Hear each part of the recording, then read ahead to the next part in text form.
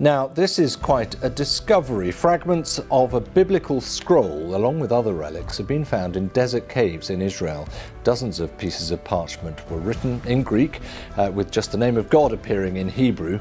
With more, here's David Campanale. Unveiling secrets, scientists in Israel stumbled upon a bizarre, perplexing discovery that challenges our current knowledge and perspective. This unprecedented finding, hidden beneath the ancient sandy landscapes, propels us into a world where every grain of sand potentially harbors millennia-old mysteries ready to rewrite history. The peculiarity of the discovery not only captivates the scientific community, but enthralls the world, teasing the boundaries between the known and the unknown. Join us as we explore the 10 of the weirdest finds that scientists just uncovered. Number 1. Dead Sea Scrolls discovered between 1947 and 1956 in the Qumran Caves near the Dead Sea. It ranks among the most significant archaeological finds of the 20th century. This collection of Jewish texts provides unprecedented insights into the nature of Judaism and the development of monotheism during the Second Temple period, 530 BCE to 70 CE. They comprise various forms of text, biblical, apocryphal, and sectarian, written predominantly in Hebrew, along with some Aramaic and Greek. The scrolls are paramount for understanding the context in which Rabbinic Judaism and early Christianity arose. They contain the earliest known copies of the Hebrew Bible, alongside a rich array of other texts that provide intricate details about the diverse religious beliefs, practices, and social and political conditions during a critically formative period in religious history. The biblical manuscripts significantly help scholars understand the transmission of biblical texts and observe textual variants. The discovery of the scrolls transformed our understanding of history and religion, the diversity of theological, liturgical, and legal documents challenged previously held notions about Jewish unity during the Second Temple period. The sectarian texts, associated by some scholars with a Jewish sect known as the Essenes, unveil a community that prioritized ritual purity, anticipated a looming apocalyptic conflict, and produced a vast and varied library. Moreover, the scroll's preservation is a marvel in itself. Sealed in earthenware jars and stashed in remote caves, they survived nearly two millennia in a harsh desert environment. Their discovery, study, and conservation have mobilized international cooperation and debate, reflecting the scroll's global significance and the enduring mysteries of antiquity that they hold.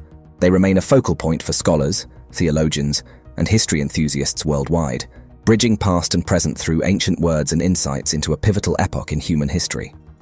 Number 2. Masada. An ancient fortress atop a rugged, isolated plateau in the Judean desert of Israel, remains one of the Jewish people's most symbolic historical sites, embodying resistance, perseverance, and tragic heroism. Overlooking the Dead Sea, Masada is renowned for the dramatic siege that unfolded within its walls nearly two millennia ago. The fortress, initially a palatial retreat for King Herod the Great in the late 1st century BCE, became the last stronghold during the First Jewish-Roman War, 66-73 CE. In 66 CE, Jewish rebels seized Masada from the Roman garrison there. Approximately six years later, after the fall of Jerusalem and the destruction of the Second Temple, Masada became a refuge for nearly a thousand Jewish zealots and their families. These rebels, known as Sicarii, sought respite and fortification behind Masada's formidable stone walls, providing them a defensive position amidst a treacherous desert landscape. The Romans resolved to quash the rebellion and laid siege to Masada around 73 CE. Constructing a massive ramp on the western approach, they eventually breached the fortress. However, Instead of finding a bustling, defiant resistance, they reportedly discovered a macabre scene. The rebels, preferring death over enslavement, had committed mass suicide. Today, Masada, declared a UNESCO World Heritage Site, stands not only as a meticulously preserved archaeological site, but also as a potent symbol of collective memory and national identity for Israel and the Jewish people worldwide. Visitors, who often ascend to the fortress via a winding snake path or cable car, are greeted with well-preserved remnants of Roman and Jewish history, including palaces, bathhouses, and storerooms, quietly echoing the stories of those who once sought sanctuary atop this desolate, yet hauntingly beautiful plateau. The tragic tale of Masada remains embedded in the broader narrative of Jewish history, symbolizing the unyielding spirit and the profound costs of resistance. Number 3. The Pilate Stone discovered in 1961 at the archaeological site of Caesarea Maritima in Israel, it stands as a pivotal artifact, providing tangible historical evidence for the existence of Pontius Pilate, the Roman governor who presided over the trial of Jesus Christ according to the Christian Bible. The limestone block, measuring 82 centimeters by 65 centimeters, once part of a larger dedication to Emperor Tiberius, is inscribed with a Latin inscription that references Pontius Pilatus and his title as Prefectus Judaiae, Prefect of Judea. Before the discovery of the Pilate stone, There were scarce historical records about Pontius Pilate outside of biblical Jewish and early Christian writings, notably the works of Flavius Josephus and Philo of Alexandria. The stone, therefore, fortifies the historical veracity of the existence of Pilate, establishing a concrete link between the textual accounts of ancient historians, religious scriptures, and the tangible archaeological record. The Pilate stone not only cements Pilate's role as a historical figure, but also affirms the interconnectedness of the political and religious climates of the era. Pilate, depicted in the Christian Gospels as an ambivalent figure, reluctant to condemn Jesus, occupied a space of power during considerable social, religious, and political volatility in the region. His governorship was characterized by tensions between the Roman authority and Jewish populations, a struggle central to the passion narratives within the Christian tradition. For historians, theologians, and archaeologists alike, the Pilate Stone serves as a vital piece in reconstructing the historical panorama of the early first century in Judea. This period would profoundly influence the trajectory of world history and spiritual thought in the millennia to follow. It symbolizes the potent intersectionality of history and faith, bridging the material and the sacred in the archaeological record. Number 4. The Tel Dan Stele discovered in 1993 to 1994 during excavations at the ancient city of Dan in northern Israel. It represents one of the most significant archaeological finds pertaining to the biblical narrative due to its potential reference to the House of David.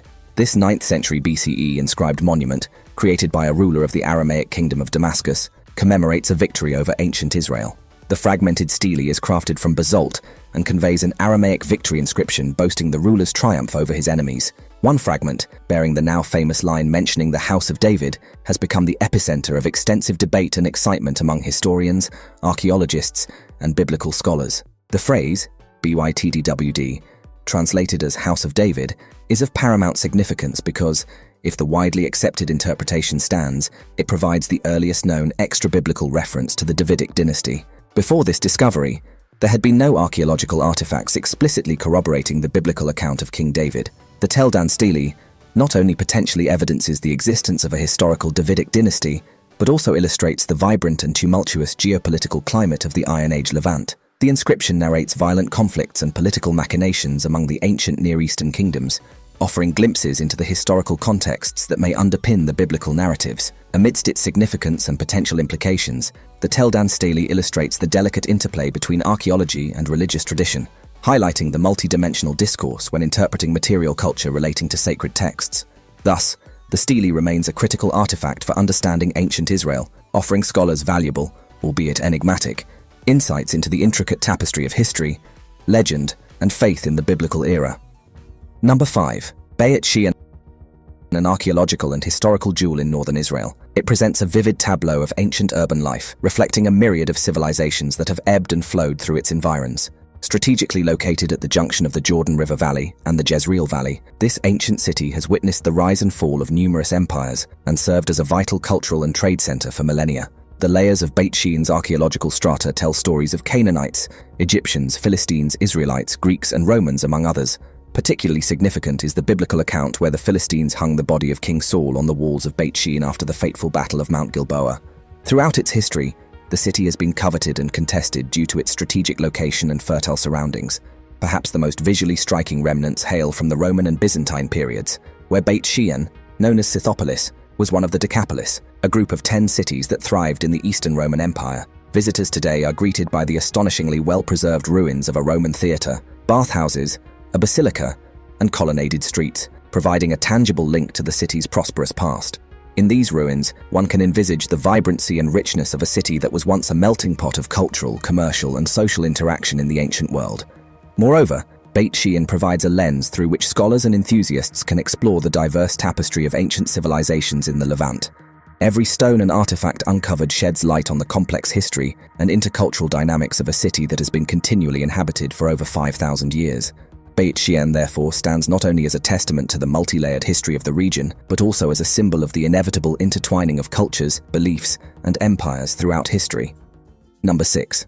Ossuaries of the James the ossuary of James represents one of the most controversial artifacts in biblical archaeology, intertwining aspects of faith, history, and skepticism in a tangible form. Discovered in the antiquities market in the early 21st century and subsequently publicized in 2002, the limestone burial box, or ossuary, is inscribed with the Aramaic phrase, James, son of Joseph, brother of Jesus.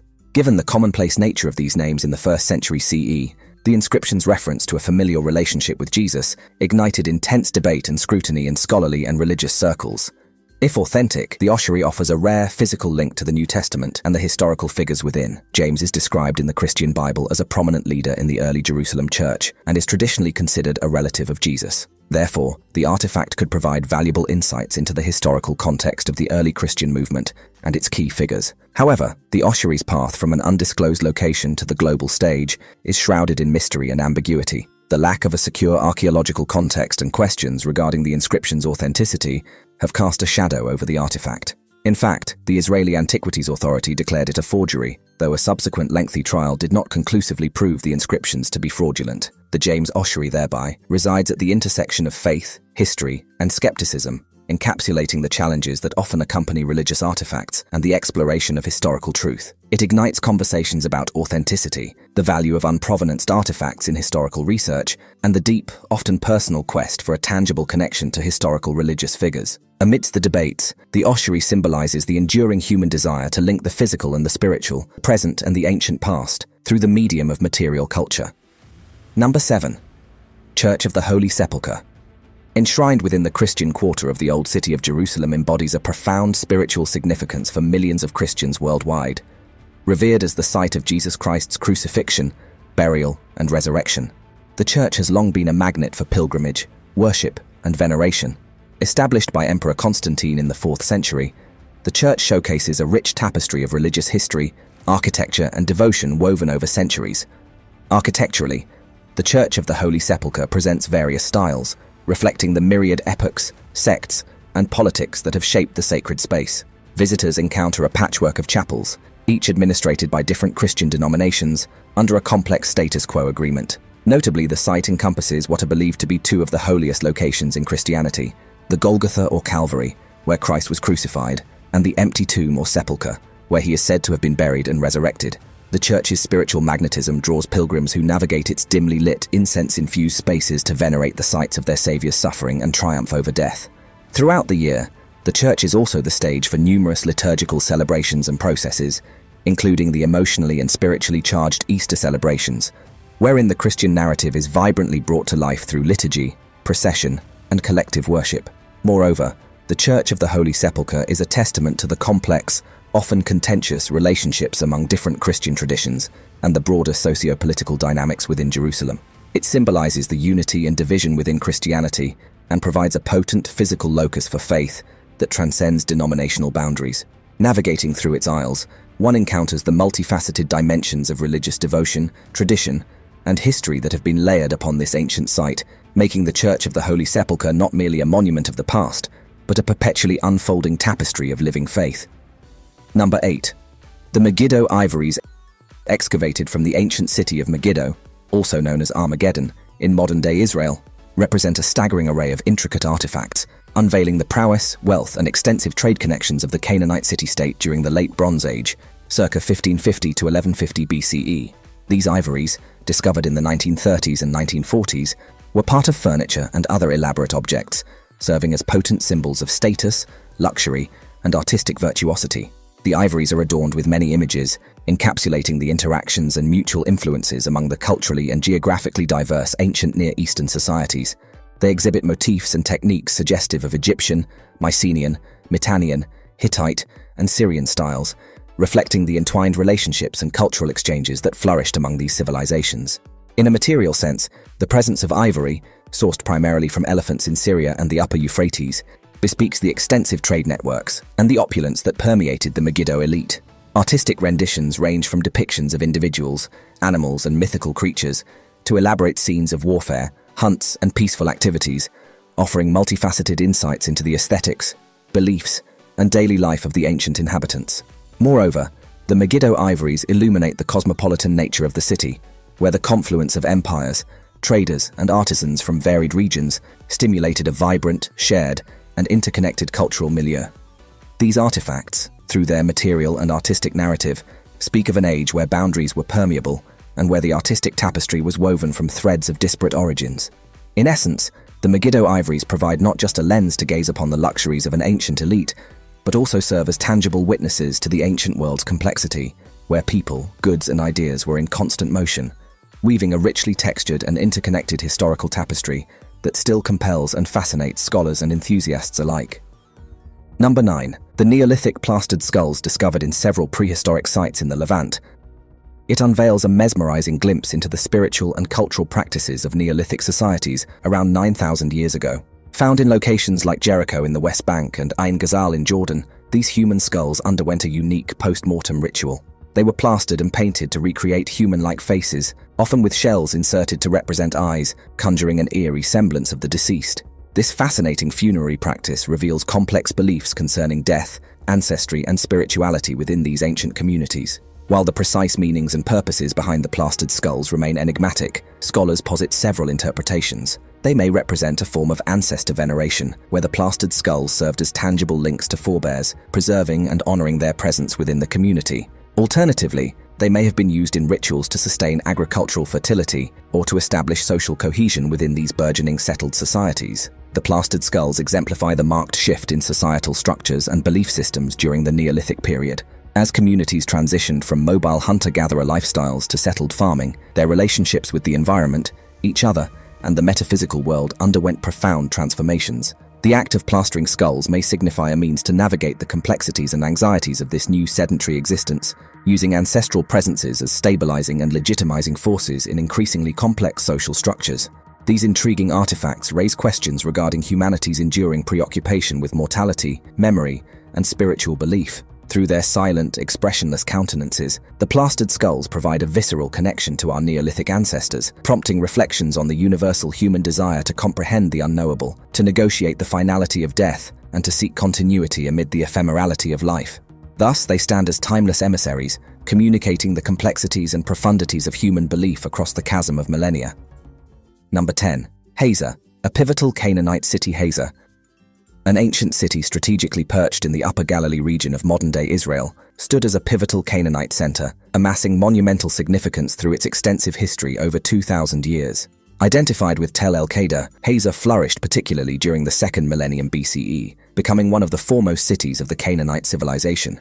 Its archaeological and historical narratives interweave layers of political power, cultural confluence, and biblical lore, making Hazor a rich field for exploring the interplay between tangible artifacts and intangible legends. In its prime, Hazor was an epicenter of trade, politics, and military endeavors, with its formidable size and fortifications reflecting the city's grandeur and strategic importance. Archaeological excavations, initiated notably under the directorship of Yigael Yadin in the 1950s and continuing to the present day, have revealed opulent palaces, temples, and substantial administrative structures, attesting to its stature in the Canaanite epoch.